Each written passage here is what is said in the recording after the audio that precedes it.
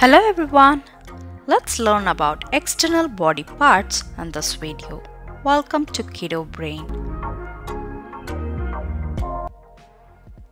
Eyes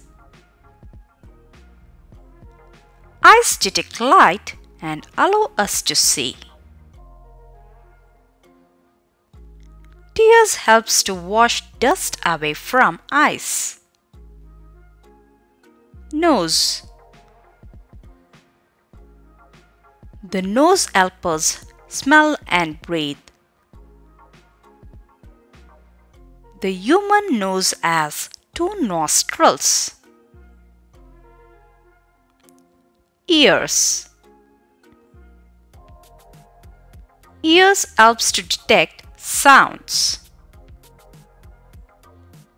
It converts sound waves into nerve impulses that are sent to the brain. Lips Lips are the door to the mouth and are also used to form sounds for speech. They can stretch while smiling. Teeth Teeth are used to chew and break down food. Adults generally have 32 teeth. Tongue Tongue is the sense organ that helps to taste food. It is the strongest muscle in human body which helps us speak. Neck Neck is the narrow part of the body which connects head to the shoulders and chest. It takes 7 seconds for the foot to pass through the neck. Shoulder Shoulder is the joint that connects the arm and neck with torso. The shoulder is the most movable joint in the body. Arm is the upper limb of human body from shoulder to wrist. It gives strength to the hand to carry and lift things. Elbow Elbow joins the forearm and upper arm. It has a hinge joint that helps in folding the arm. Hand Hand consists of a palm and five fingers. It is one of the most sensitive areas of the human body. Fingers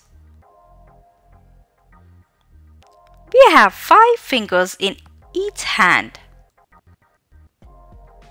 The most sensitive finger on the human hand is the index finger. Thumb Thumb is the first finger of the hand. It plays an important role in lifting, holding and trying objects. Chest Chest protects the heart and lungs. The rib cage in the chest is made up of 12 bones. Back Back has spinal cord which passes messages from body parts to brain. It provides support to head and strength to the trunk of the body. Knee Knee joins the thigh and the lower leg. It is the largest joint in the human body. Leg Leg is the lower limb of body attached to the hips. It is used to walk and run. Toes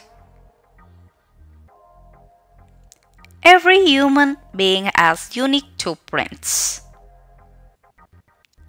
Toenails grow four times slower than the fingernails.